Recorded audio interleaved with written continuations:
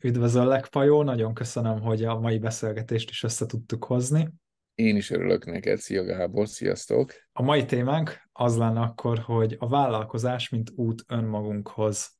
Így ez a kérdéskör, ami alatt én olyasmiket értek, hogy úgy gondolom, hogy a vállalkozás az egy ilyen ugyanúgy, mint akár a párkapcsolat, vagy akár a pénzzel való kapcsolatunk, vagy a családunkkal való kapcsolatunk, egy jó felület arra, ahol megismerhetjük önmagunkat. Egyrészt uh-huh. azt is, akinek gondoljuk magunkat, tehát akár az egonkat, illetve hogyha azon túl tudunk jutni, akkor pedig a valódi önmagunkat is közelebbről meg tudjuk ismerni, meg megélni, kibontani, hogy mi, mi az a, a mag, ami bennünk van, és ezen a téren szeretnénk úgymond akár a képességeinket megélni, megtapasztalni, a, hogyan működnek, akár az, hogy egy másik fajta életformát, egy sokkal szabadabb, meg egy olyan életformát tudjunk ö, megtapasztalni, ahol megfelelően értékelve van az, amit adunk pénzben is, illetve a kicsit jobban mi szabjuk a határokat, azt, hogy hogyan szeretnénk dolgozni.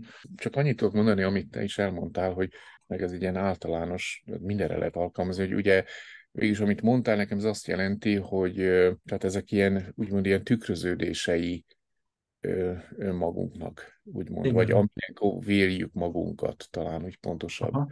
Tehát ilyen, ilyen, ha jól értem, akkor inkább ilyen visszajelzések lehetnek önmagamról, mint ahogy egy párkapcsolat is, Ugye azért szokták mondani, hogy ha valaki azt gondolja, hogy megvilágosodott, csak költözzön össze a szüleivel, hogy lakjon otthon, és akkor egy fő kiderül. Azért jó a párkapcsolat is, ugye, mert e, ugye az a legszorosabb, azért legszorosabb közösség, ott nem lehet egy idő múlva, hogy melyek ezt magyarul, tehát ilyen... Elbújni. I, elbújni, igen, igen. Úgy fakingelni tehát az egészet, tehát hogy úgy csak mímelni, meg ezért meg kibukik, hogyha hamis Aha. a... De jó, tényleg most legyen ez egy olyan szakaszpajó, hogy így kicsit így mesélj egy pár szót azért magadról, mert most eszembe jutott, hogy lesznek ja, olyan, akik még nem ismernek se téged, se engem. Igen, igen, ja. Igen, tehát 2010 óta vagyok ilyen külhomban, először Kanadában, és akkor 2014 óta itt Amerikában, és... Uh-huh. És most már állampolgár vagy? Így van, így van, az is, az is meglett, igen, Bár nem biztos, hogy ez olyan nagy előny egyébként a mai világban.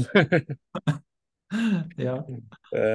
Tehát ilyen, ilyen esküvő, van egy helyszínünk, ahol esküvőket lehet tartani, tehát végül is olyan, olyan múltkor vagy mikor egy kicsit beszéltünk arra, hogy, hogy Amazonnal is foglalkoztam, de, de nem azért, mert tehát én csak a hallgatóknak mondok, én nem vagyok azért ilyen üzletember féle igazából, de persze, hogy is mondjam, élünk, dolgozunk, meg és akkor most meg egy ilyen régi templomot újítunk fel, és ott fogunk csinálni ilyen európai ilyen kávézót, meg, meg ilyen baltadobálót, úgymond ilyen ex-throwing valamit, úgyhogy ja, de olyan szépen nyugodtan, szóval olyan, olyan nem, nem őrült módon. Aha, természetes növekedéssel. Valahogy úgy, igen. hogy például neked, tudod, ez, az, ez valami mindig olyasmit jelent, hogy, hogy ha van valami, ami fontos számodra, akkor az mindig az a fontos. Aha. És az a kérdés, hogy mi ez az, ami fontos. Ezt bárhogyan is nevezzük meg, de ugye az van a szíved közepén, az uh-huh. van belül.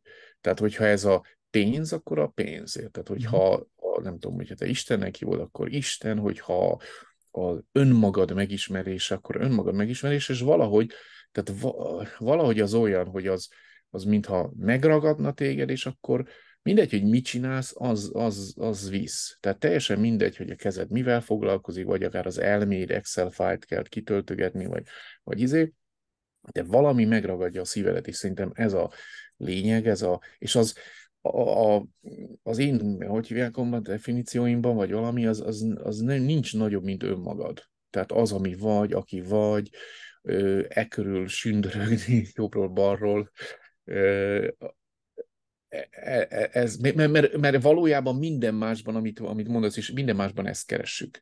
Uh-huh. Tehát a, a, ahogy most kezdted az egészet, a, a, hogy a vállalkozásban, amit látunk, visszatükröződései az én bé, saját bénaságomnak, vagy akárminek, az igazából utána kezd, ugye rájövünk arra, hogy ez nem abban van, nem az a baj, hogy nem tudom én, ez a persze lehet olyan is, hogy rosszul csináltam a, meg a weblapot, vagy mit, ilyen szintű valami is, de azért zömében mind olyan, ami valahogy hozzám kötődő dolog. És akkor egy idő múlva, hogy te is elmondtad múltkor, az ember úgy kezd visszatérni önmagához, bár vállalkozom, és vállalkozást csinálok, de mégis elkezd a fókuszban önmagam lenni, és valahogy ez, e, ettől nem, nem foglalkozom a vállalkozással, de valahogy más, nem, én ezt értem prioritás alatt, hogy, hogy az, az igazi fontos dolog kerül első helyre, és az mindig első helyen van.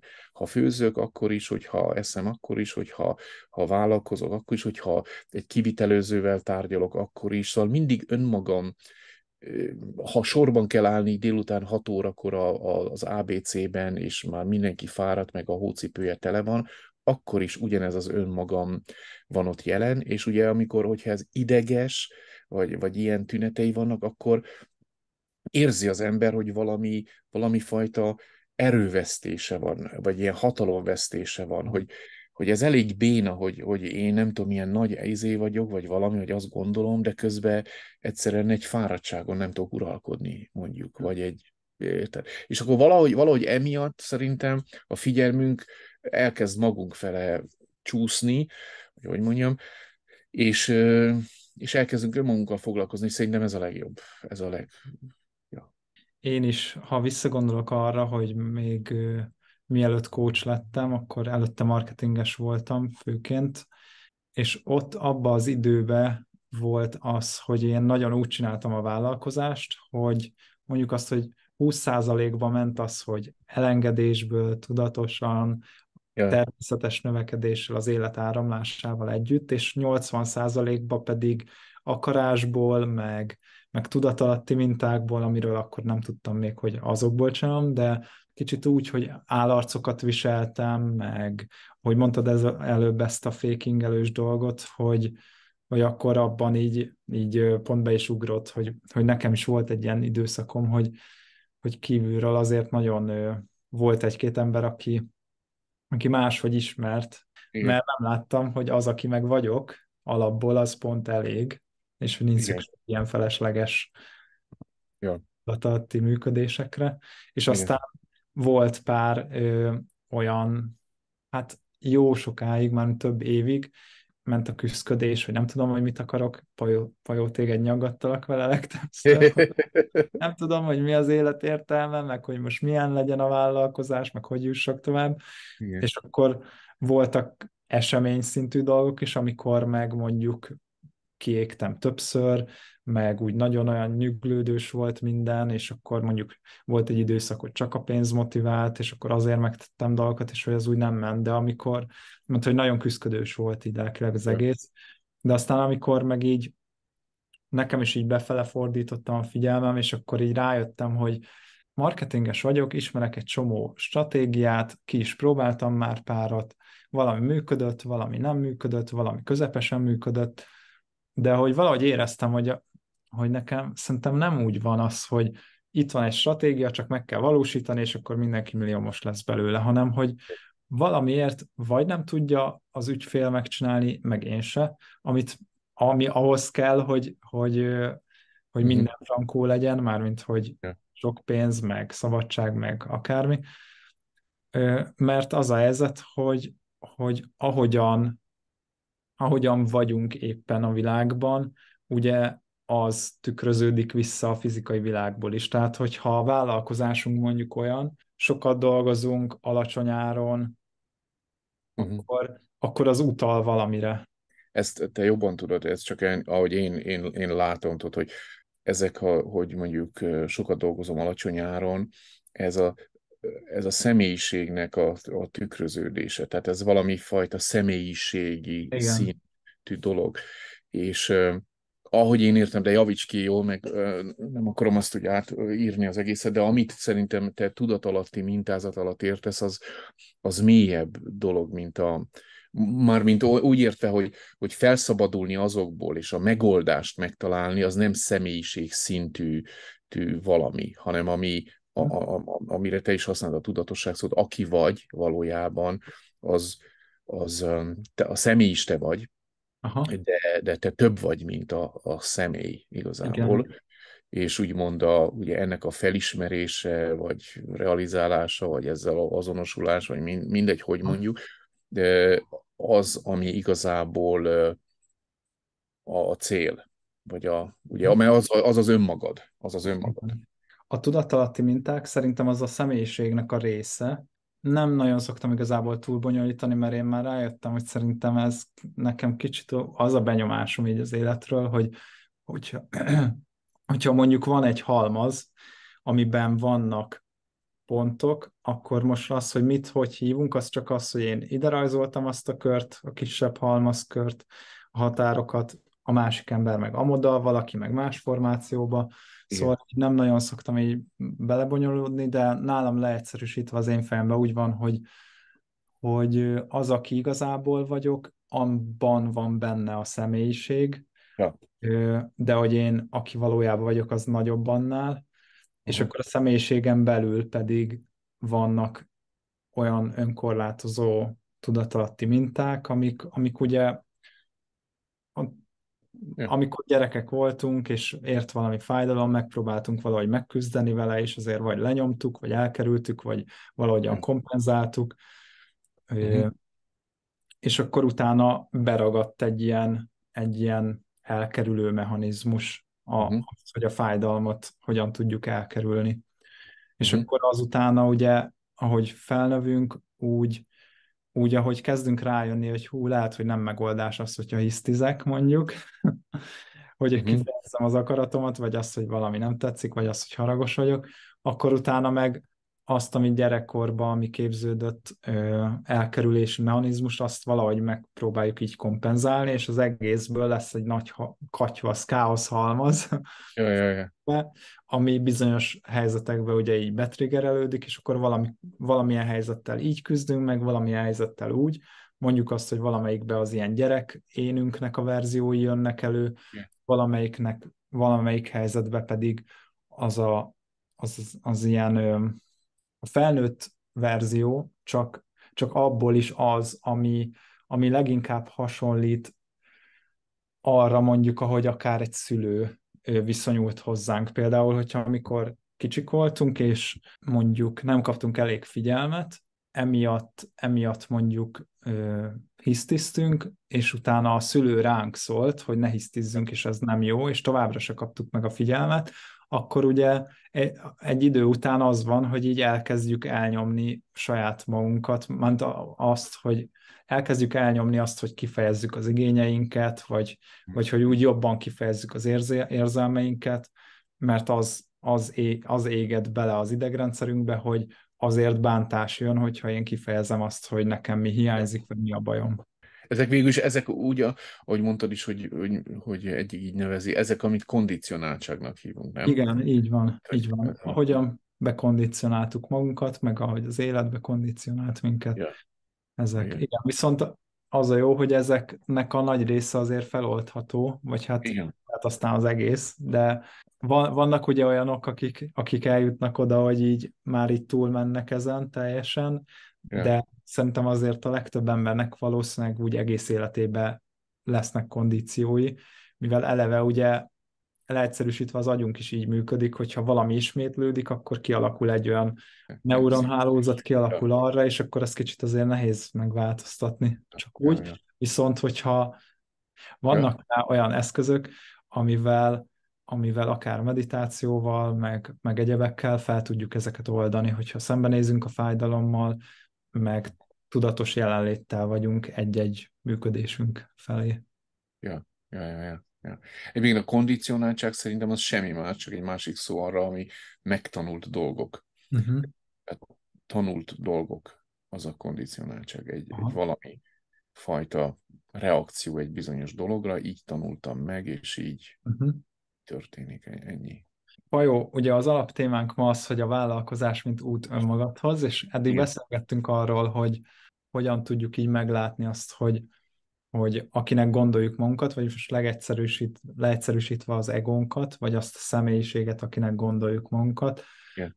ahogy látjuk a, a tüneteit annak, hogy ahogyan mondjuk működtetjük a vállalkozásunkat, akkor, akkor ott előbb-utóbb szembe tűnik az, hogy nem biztos, hogy a kormány a hibás, nem biztos, hogy a, a, az ügyfelek a hülyék, hanem gyanús, hogy lehet, hogy valami bennem akar így visszatükröződni az élet által, hogy én hogyan gondolok magamra, milyen személyként gondolok magamra. Igen, így van. É.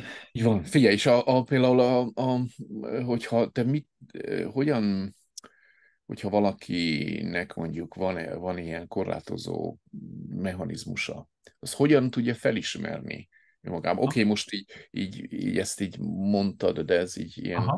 tehát hogy mi a tünete konkrétan, Aha. vagy mi, milyen fajta tünetek lehetnek? Tehát hogyan tudom én magamat beazonosítani azzal, hogy figyelj, ez egy, ez egy valami fajta korlátozó, vagy önkorlátozó, vagy tudatalatti mechanizmus, vagy Aha. ahogy. Szóval miből veszem észre? Igen, Na. igen. Ö, köszönöm a kérdést. hát leginkább abból, hogyha valami mondjuk szorongást vagy stresszt vált ki belőlünk, uh-huh. és, és érezzük rajta mondjuk, hogy nem az az egészséges fajta stressz, illetve Aha. nyilván az ilyen első körben, ilyen felszíni verzióban az ilyen nagyon szembetűnő dolgokat érdemes szerintem számba venni. Például az, hogy, hogy a bevételi szint az mondjuk olyan, ami, amiről én úgy gondolom, hogy nekem ez lenne az mhm. ideális. És nyilván itt kell azért egy józan képesség, hogy mindenki havi 10 milliót szeretne keresni, de, de azért az, hogy ahol én most tartok, hogy nekem ez a megélhetésemhez, meg a fejlődésemhez elége, yeah. meg úgymond a céljaimhoz. Illetve az, hogyha valaki nagyon sokat dolgozik, illetve alacsony áron, ez szokott lenni a, a, a fő uh-huh.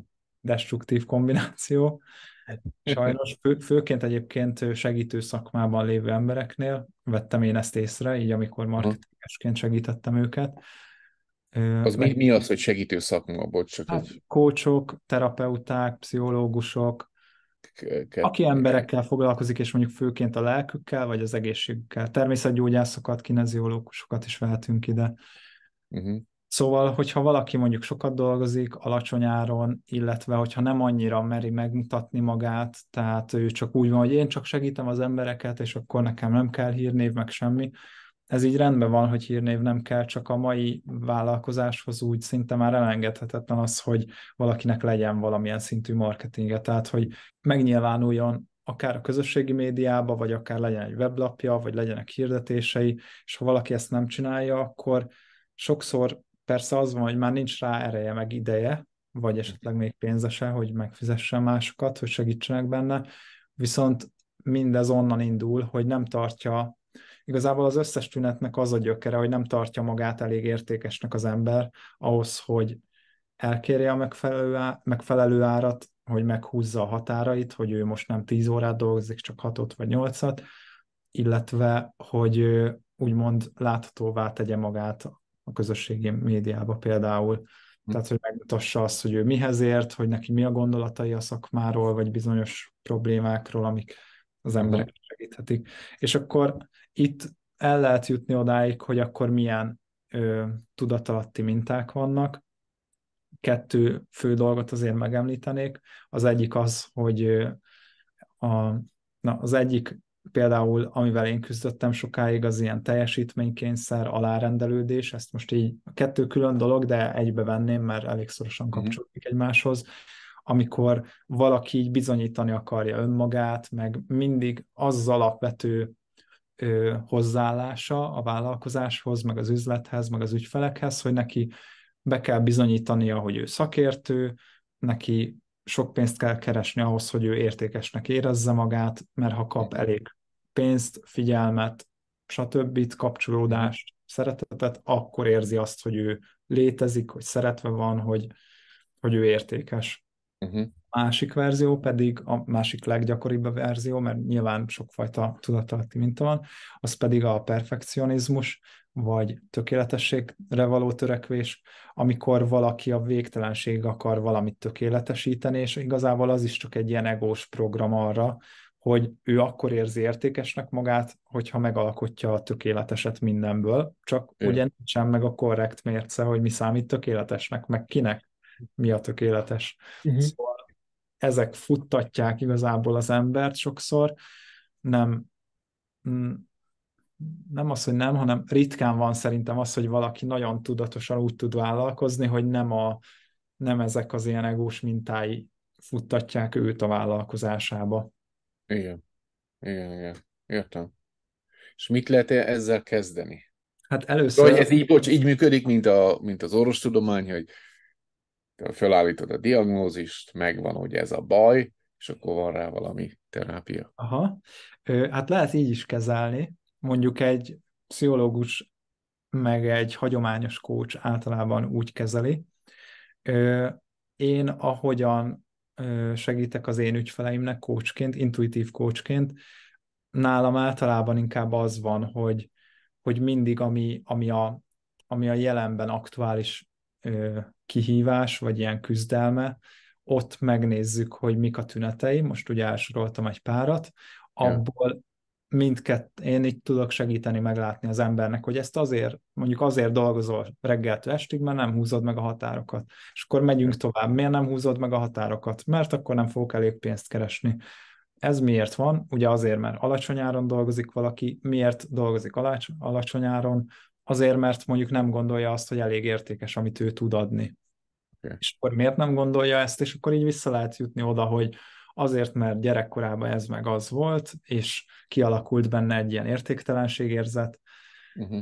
és ő, ő e- ennek így úgymond alárendelődött. De valaki meg mondjuk túl magas áron dolgozik, mert túl akarja kompenzálni, több pénzt akar úgymond elkérni azért, ami, amiről ő maga is azt gondolja, hogy ez nem biztos, hogy mondjuk ő kifizetné ugyanazt ugyanazért. Ja. Én, voltam már minden verzióban.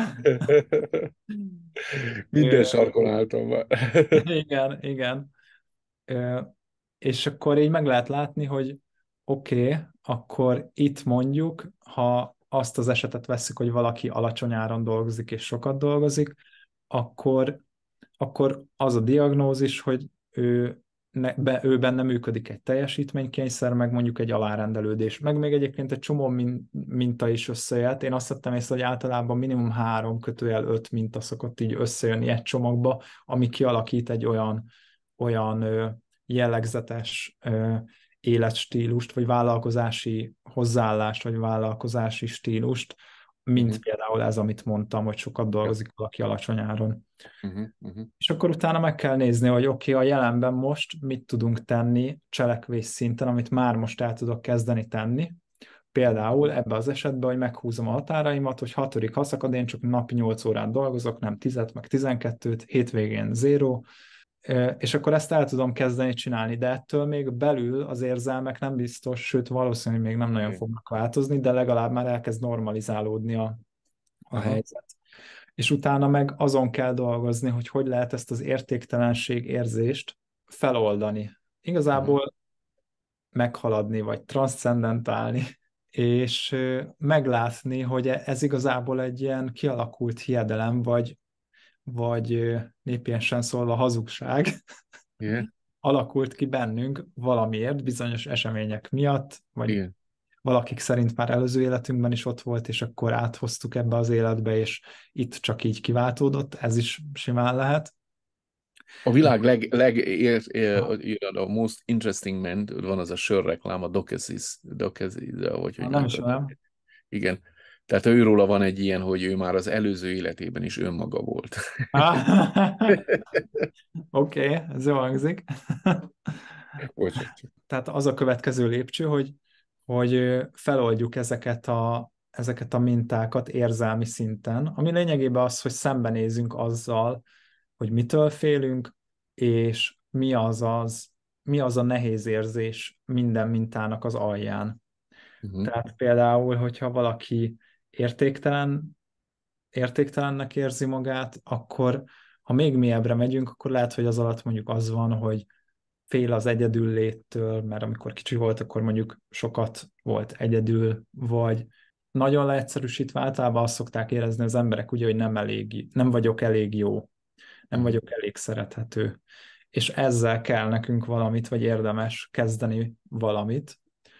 És az, hogy már csak tudatába kerülünk, hogy amúgy ez mozgatja a cselekvéseimet, az érzelmi világomat, a gondolatvilágomat, már az szerintem egy hatalmas lépés, és utána lényegében csak rá kell jönnünk, hogy, hogy ez nem igaz.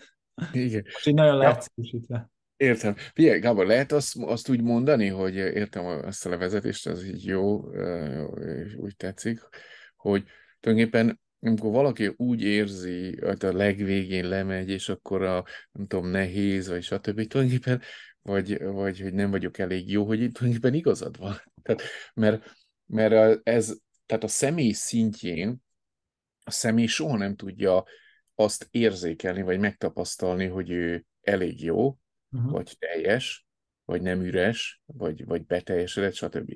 Viszont az, ami, amikor azt mondod, hogy amikor ennek tudatában kerülünk, és szerintem ez a, legalábbis én így, így fogalmazom, vagy hát, hogy szerintem ez a lényege, tehát ami, amikor azt mondod, hogy ennek tudatába kerülsz, mert a, ennek tudatába kerülés jelzi azt, hogy itt van valami, ami mondjuk más, mint aminek tudatába kerültem. Igen. Aha. Tehát, hogyha a tudatába kerültem annak, hogy jé, ez egy ilyen, mit tudom én, limitáló, vagy tudatalatti, nem tudom, minta, vagy valami, az a valami a lényeg, ami ennek tudatába került. Uh-huh. És mhm. tulajdonképpen ez, ez meg is oldotta azt a valamit. Tehát a, nem a tudat tartalma a lényeg, aminek tudatába kerültem, Aha. hanem ami, hogy tehát ez a, mondjuk így, ez a képessége az embernek, hogy képes tudatába kerülni a dolgoknak, Aha. ez egy óriási dolog, ez mindenből ki tudja húzni, úgymond, uh-huh. mert ez, ez nem tartalma annak, Aha. ami tudatába kerül valaminek, hanem ez az, ami tudatába kerül bárminek. És amikor ez a tudatába kerülés megtörténik, legalábbis a, én úgy látom, hogy ez tényleg stabilizálódik, ez ennyi, ez a megoldás. uh-huh. Eloszlik a korlátozó. Igen. Igen, igen. Ö, én még az, az volt, amit így az, utó, ez az utóbbi ilyen egy-két év az nekem ilyen nagyon transformatív volt, így fogalmazzunk, így elég sok átalakuláson mentem keresztül, mármint személy részem mindenképpen, mert az, aki valójában vagyok, az nyilván ugye nem változik. Igen.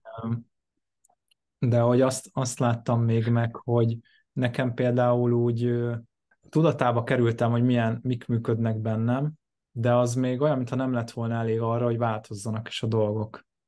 És nekem például így kellett az is, hogy így így szembenézzek azokkal, a, azokkal az ilyen beszorult érzésekkel, amik már gyerekkorban is beszorultak, és úgymond ja. az így elkezdett így kiengedődni a testemből.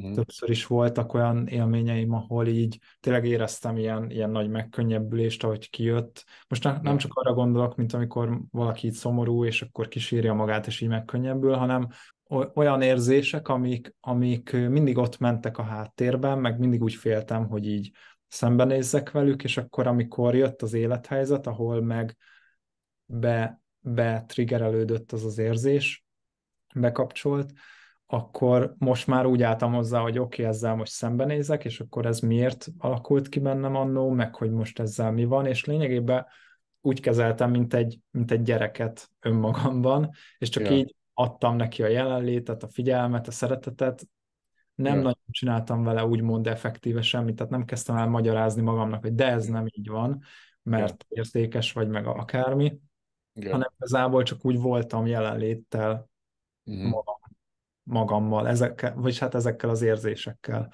amiről ja. megláttam, hogy nem én vagyok, hanem nekem vannak, bennem vannak olyan érzések.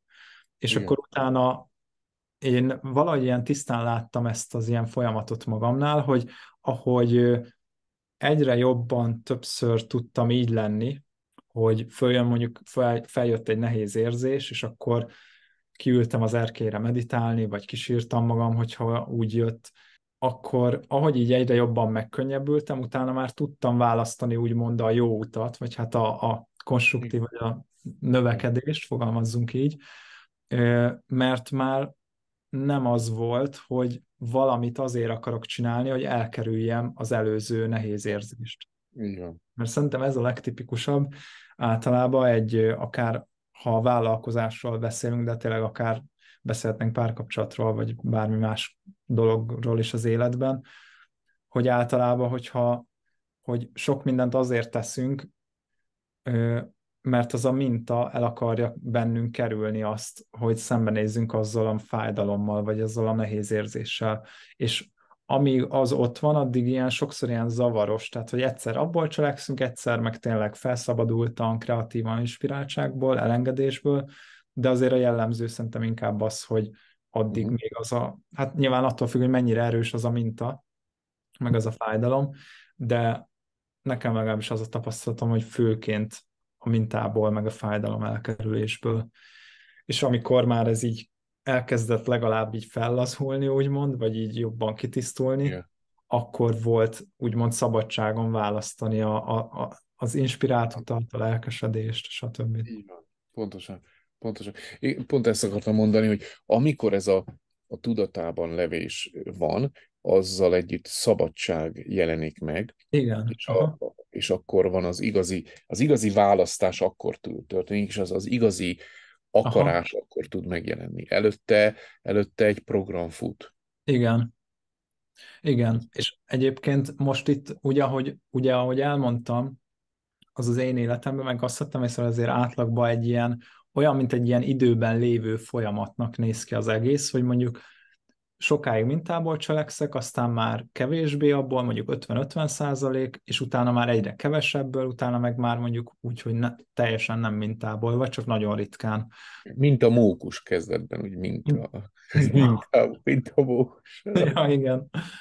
Na, viszont ugye, amikor, ahogy te is mondtad, én is ezt éltem meg, hogy amikor tudatába kerültem a dolgoknak, még volt is, amikor meg is fogalmaztam így magamba, hogy igazából én most ebben a pillanatban már szabad vagyok, és már most dönthetek máshogy, és már most cselekedhetek máshogy, és hogy nem kéne igazából, hogy még több ilyen kör, kör lejátszódjon, hogy megint mintából Igen. belealszok a mintába, Igen. És akkor újra felébredek, hogy ez így nem kéne. Valamiért általában így szokottam úgy alakulni szerintem, hogy ha, legalábbis nekem így ezt tettem észre, de az igazság az az, meg maga a tapasztalat is, hogyha valaki így odafigyel rá, hogy minden pillanatban van választásunk, és bármikor senki nem kényszerít minket, hogy alárendelődjünk, hogy a végtelenség tökéletesítsünk valamit, vagy hogy teljesítménykényszerből teperjünk. Így van. Szerintem az, tehát az a pillanat, az úgymond állandóvá tehető,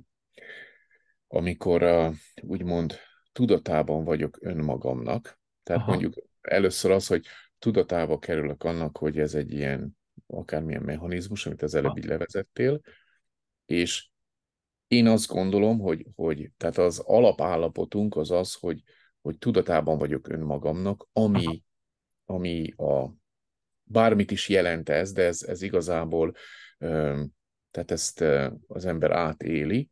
Amikor ez van, akkor tényleg szabadság ban él, él az ember. A szabadság pedig azt jelenti, hogy nem, nincsen semmi kényszerítő tényező, tehát nem érzek kényszert arra, hogy, hogy cselekednem kell, vagy nem kell, hanem valóban ebből az önmagamságomból akarok valamit tenni, vagy nem akarok tenni. Míg ha nem teszek semmit, akkor is nem változik ez a szabadságom, és ez több, mint érzés, de így mondjuk ez a szabadságérzés. Uh-huh. De ha teszek, akkor sem lesz több, vagy akkor sem lesz kevesebb, nem változik meg. Tehát, ahogy mondtad is, hogy nem alszom vissza abba a mintába. Tehát még hogyha lehet, hogy pont ugyanazt a dolgot is fogom csinálni, de már nem egy minta működik bennem, hanem Aha. én tényleg, és, és ezt senki nem tudja megmondani rólam kívülről, Aha. vagy senkiről nem lehet megmondani. Tehát Aha. ugyanazt teszi egyik, meg a másik, és az egyik az ebből a szabadságban van. Tehát, mert ez a, én úgy gondolom, hogy ez a lényeg, hogy ezt keressük a vállalkozás eredményében, a pénzben, hogy csak ugye akkor el vagyunk veszve a folyamatba, hogy amikor megvan ez a pénzem, akkor megveszem ezt, és, izé, és akkor ide tudok utazni, és leülök a tengerparton, és na, és akkor teljesen ellazulok, és megvan a feleségem, a gyerekek, izé, stb., és na, akkor az élet értelmet nyer, és izé, stb. És tulajdonképpen ez, amit ebben a folyamatban elrejtve mint ilyen mintában izélek keresek, ez, ez itt van előtte.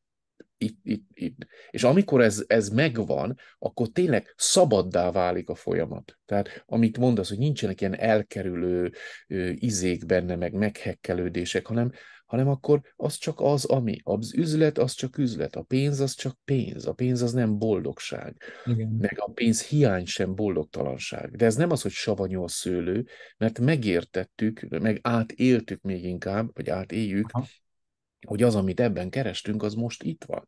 Igen. És, és bármelyik pillanatban is szerintem ez a lényeg, hogy ezt a pillanatot kell, kell ez hülyén húzik, állandóvá tenni, mert ez az a pillanat, ami állandó egyébként, tehát ez, ez nem változó valami, ez nincs is a, se az időben, sem a térben valójában az, ami, ami én vagyok.